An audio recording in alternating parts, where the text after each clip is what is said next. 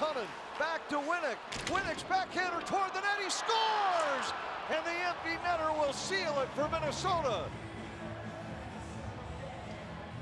Real unselfish play by Kunin. Instead of forcing it, he passes it back to the wing to Winnik, who pitches his one down the ice.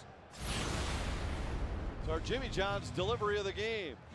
Right here, the shot comes in and it rolls down the pad. Look at the extension quickly, though.